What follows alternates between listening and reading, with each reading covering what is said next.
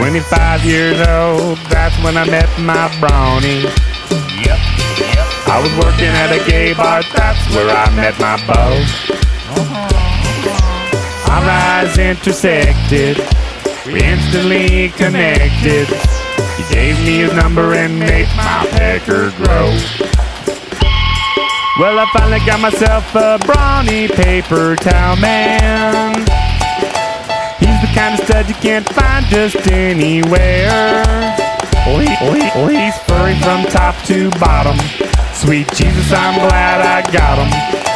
I'm his boo boo, he's my Yogi Bear.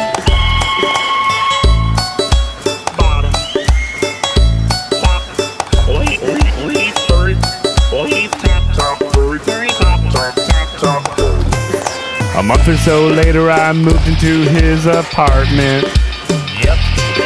That might seem kinda quick, but we both do right away. He gave me a key and a letter. Life got a whole lot better. And it's getting better every day. Thank God I'm gay. Well, I finally got myself a brawny paper towel man. He's the kind of gentleman that'll open up your door. He's six foot five, got hazel eyes, looks damn sexy in a suit and tie. Brawny's the quicker picker up for when I want more. My pecker crow,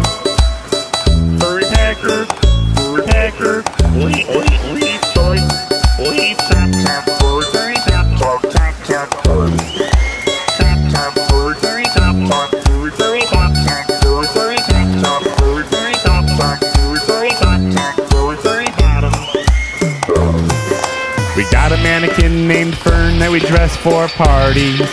Yep, yep. And we both like to watch men's figure skating too. Figures. He used to be a Baptist preacher. Now we're a double feature. Just like Moulin Rouge and Xanadu. Well, I finally got myself a brawny paper towel man. The kind of man that I've been waiting for all my life. Someone I can sit and play cards with, get drunk and smoke cigars with. We went to the chapel, got married, now I'm his wife.